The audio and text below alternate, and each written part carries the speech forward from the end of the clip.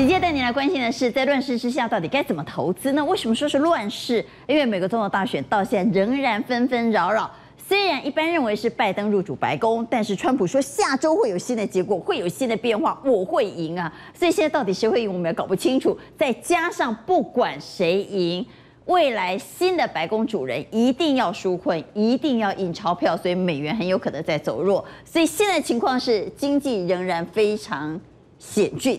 联准会热烈辩论购债计划，必要的时候呢，会强化整个纾困和购债计划。另外，Fed 官员说疫苗是远水啊，我们本来很开心嘛，但他说这是远水，所以未来两季美国经济仍然会面临疫情的考验。好，在这样情况之下，该怎么投资呢？如果美元持续的下挫，高盛还说，二零二三年底还要再跌。到二零二三年底以前呢，还要再跌十五 percent，所以朱老师，乱世下的投资术你怎么看？好，来，到底是不是乱世？我们自己说的不算嘛，联准会说的应该算的吧？来，上礼拜联准会例行性会议开会结果，结果因为选举的事情，大家几乎没有人在注意。来，所以我们帮大家整理。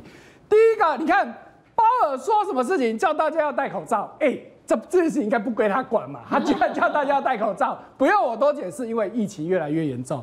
第二个，他告诉你，大家都知道事情，利率短时间不会变，至少要三年以上维持历史最低点。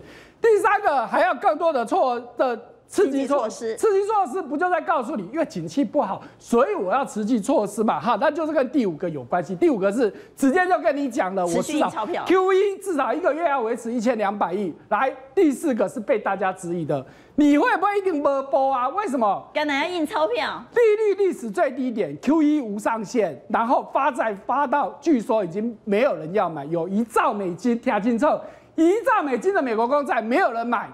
啊，千万你给我下一波，啊不啊不不啊嘛，所以你看到联储会刚刚跟我们的事情，不就在跟我们讲这几件事情？第一个，疫情没有还没有缓和下来嘛？第二个，你要 Q E，你还要那么多刺激政策，不就告诉你，因为市场还不好嘛？第三个，印了那么多钞票，花了那么多债，美元是不是注定要弱势？那投资人在这种情况之下，你怎么办？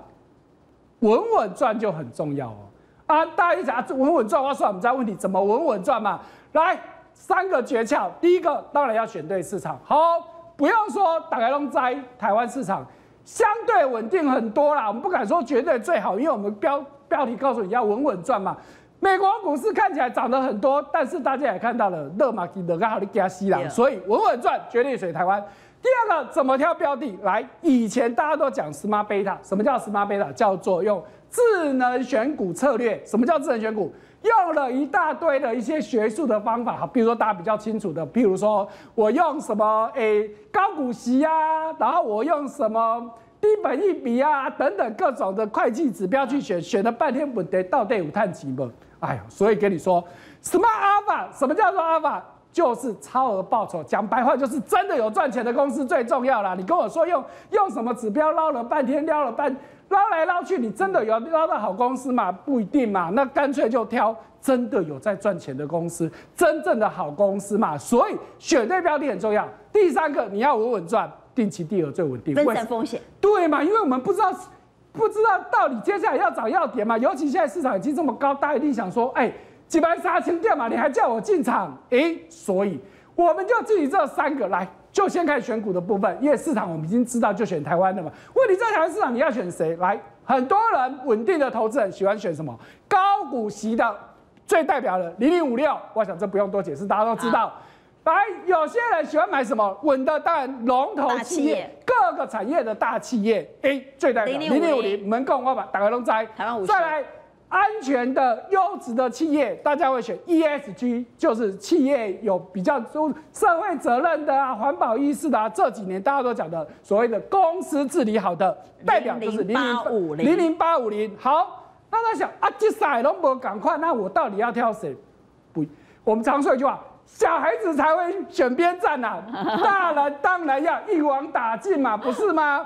所以我们三个通通都要。所以叫做什么？高股息又优质又龙头企业，这个叫做高品质的选股。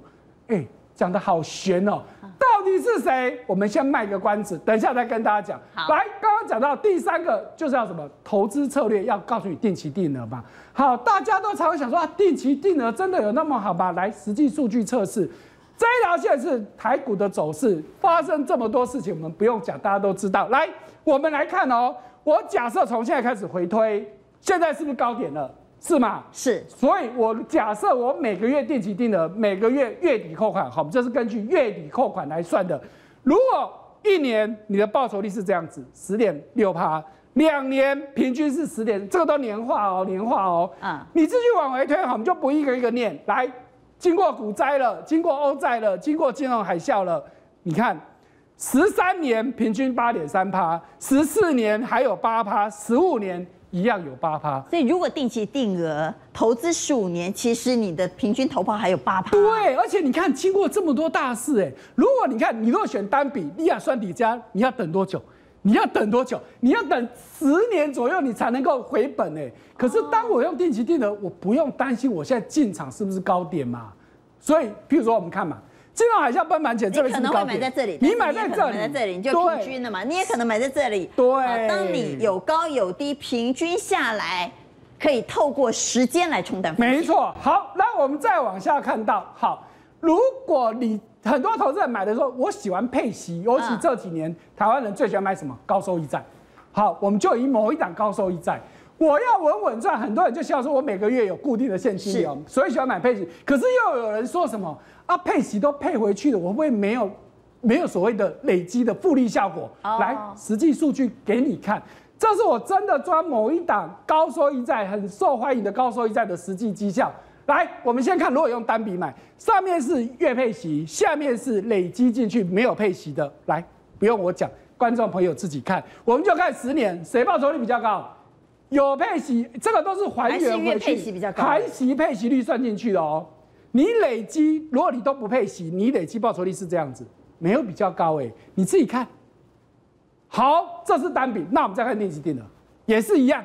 来，大家自己看，有没有发现？还是月配息还是月配息比较高，但我不是说一定都是月配息比较好，我只是在告诉你这件事情没有说配息就不会有累积报酬率，不会有复利效果，所以绩效就会变差，不一不一定不一定啦，所以要让让观观众朋友，因为太多这种说法，就可以说啊，你为什么一定要配息嘛？他配了就没有累积效果，没有复利效果了嘛？事实上，你数据抓出来看最清楚。